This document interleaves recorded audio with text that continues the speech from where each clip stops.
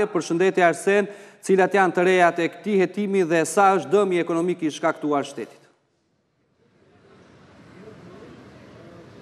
Sektori ekonomik në Prokurorinë e Tiranës në hetimet e vijueshme ka mundur të zbulojë një skemë mashtrimi me tatimin e vlerën e shtuar që fillimisht kompanitë nëpërmjet faturave paguajnë në arkën e tatim taksave dhe më pas shtetit do duhet ta rimbursojë ose ta njohë si shpenzim teksa do të ndahet dividendi i këtyre kompanive. Kryesisht kompani me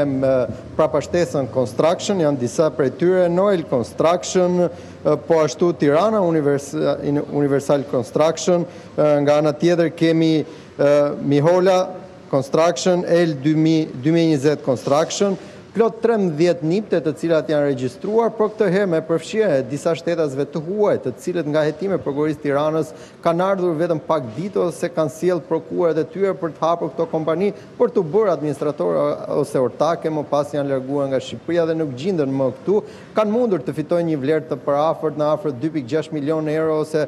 treqind milionë lekë të reja rimbursime TVSH këto kompani dhe në skemë ku kompani ndërtimi nga ana tjetër faturonin produkte ose materiale që nuk lidheshin me objektin e tyre të punës. Është një hetim i Departamentit të Krimit Ekonomik në Prokurorinë e Kryeqytetit së bashku me Drejtorinë e Tatim Taksave që ka zbuluar mashtrimin me Rimbursimet e TVSH-së. Kujtoj këtu nuk është hera e parë në fakt evazioni ose skema fiktive TVSH-së ka prekur thuajse gjithë sektorët nga hidrokarburet, bizneset e shërbimeve e më së fundmi kompanitë e ndërtimit të cilat për të ulur tatimfitimin apo dividendin që do duhet t'i paguajnë shtetit ato bëjnë evazion duke përdorur skema fiktive apo fatura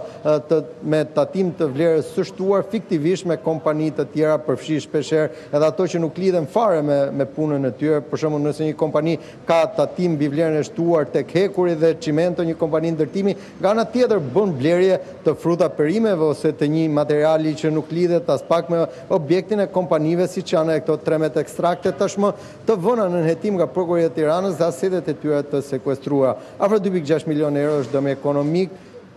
një dëm i konsiderueshëm në buxhetin e tatimtaksave apo rimbursimin fiktiv që shteti iu ka bërë këtyre trembëdhjetë kompanive.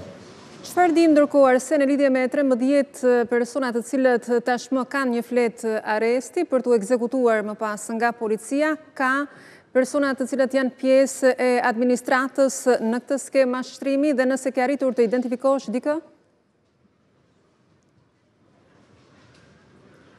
Në fakt bëhet fjalë për persona të cilët kanë disa masa të ndryshme sigurie, përfshirë nga ato të arrestit apo detyrim paraqitje deri pezullim nga detyra, në emra që nuk janë personazhe të njohur as të jetës publike apo të administratës apo të thuaj të botës së krimit, por krimet ekonomike konsiderohen krime të zyrtarëve apo jakave të bardha, të cilat do duhet një kohë e gjatë të hetohen dhe të zbulohen, pasi janë krime të cilat kërkojnë edhe një njohuri jo vetëm ekonomike, po po ashtu edhe aritmetike, Po edhe njohjen e legjislacionit tatimor. Në fakt,